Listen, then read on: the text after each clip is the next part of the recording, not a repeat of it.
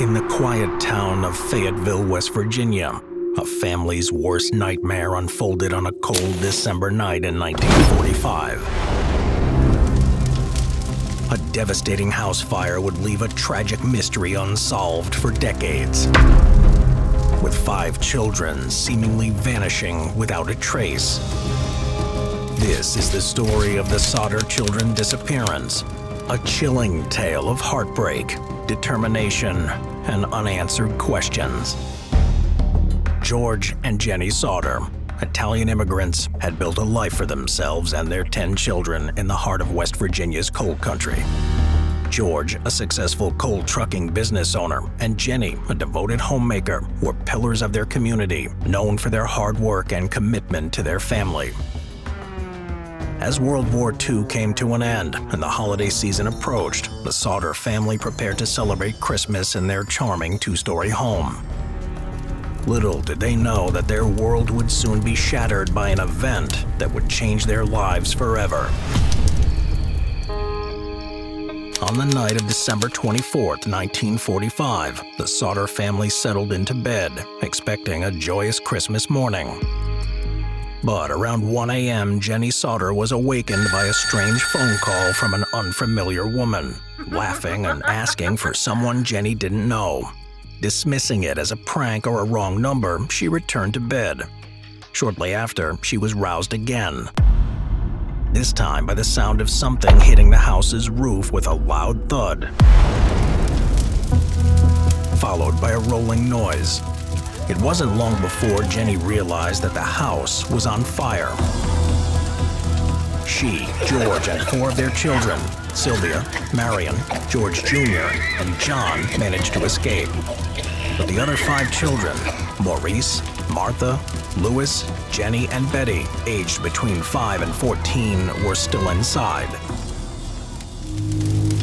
As the flames grew more intense, George Sodder desperately tried to re-enter the burning house. But the doors were locked, and the windows were blocked by an intense wall of fire. In the chaos, the family discovered that their ladder, usually propped up against the side of the house, was mysteriously missing.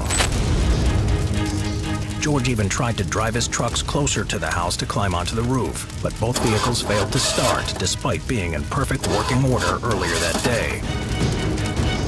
The desperate family could only watch in horror as their home burned to the ground, seemingly taking the lives of their five beloved children. As the sun rose on Christmas morning, the devastated Sodder family surveyed the smoldering ruins of their home. Local firefighters who had been delayed in responding to the blaze arrived to conduct a preliminary investigation. However, what should have been an open and shut case of tragic accidental death quickly became a baffling mystery. The firefighters found no human remains in the ashes, no bones, no teeth, nothing to suggest that five children had perished in the fire. The fire chief, F.J. Morris, insisted that the fire simply had burned too hot and too quickly for any remains to be left behind. Despite this unusual claim, the fire was ruled an accident caused by faulty wiring, and the case was closed. But the Sodders refused to accept this explanation. They conducted their own experiments, burning animal bones in similar conditions to see if they would be reduced to ash. Time and time again, they found bones remaining in even the most intense fires. The missing ladder was eventually found in a nearby embankment, and it was discovered that the house's telephone line had been cut, not burned. All of these puzzling elements only deepened the mystery surrounding the fate of the Sodder children. Fueled by their love for their lost children and a growing suspicion of foul play, George and Jennie Sodder embarked on a relentless quest for answers. They hired private detectives, consulted psychics, and even enlisted the help of the FBI, but their efforts were met with resistance from local authorities who maintained that the fire was a tragic accident. Undeterred, the Sodders began to uncover a web of strange coincidences and suspicious encounters. Prior to the fire, George had received threats from a disgruntled former employee who had been fired for stealing. Additionally, George's criticism of Italian dictator Benito Mussolini had made him some enemies within the local Italian community. As the years passed, the Sodder family received tantalizing tips and alleged sightings of their missing children. From a waitress in Charleston who claimed to have served breakfast to the children shortly after the fire, to a letter from a woman in St. Louis saying she had seen the missing Sodder children in a hotel. Each lead seemed to offer a glimmer of hope that their children were still alive. In 1968, more than two decades after the fire, the Sodders received an anonymous envelope containing a photograph of a young man in his mid-20s who bore a striking resemblance to their son Louis. On the back of the photo, a cryptic message read, Louis Sodder, I love brother Frankie, I lil boys, A90132 or 35. Despite their best efforts, the Sodders could not trace the origin of the photograph or confirm the identity of the man pictured. In a curious turn of events, George stumbled upon a magazine featuring a troupe of young ballet dancers in New York City. Among them, a girl with an uncanny resemblance to his vanished daughter, Betty. Compelled by a father's determination, George traveled to the girl's school, only to be met with refusal when he persistently demanded to see her. Wanting to involve federal authorities, George reached out to the FBI, receiving a response from the director, J. Edgar Hoover. Hoover expressed empathy but clarified that the case seemed to be of local nature, and the FBI could only intervene if local authorities requested their assistance. Regrettably, the Fayetteville Police and Fire Departments declined the offer. In August 1949, George succeeded in convincing Oscar Hunter, a prominent pathologist from Washington, D.C., to supervise a renewed excavation at the site of their former home. After an exhaustive search, they unearthed several artifacts, including a dictionary that belonged to the children, some coins, and a few small human bone fragments. These fragments, identified as lumbar vertebrae from a single individual, were sent to Marshall T. Newman, an expert at the Smithsonian Institution. Newman's analysis revealed that the bones belonged to someone between 16 and 22 years old at the time of death, which made it improbable that they belonged to any of the missing Sodder children.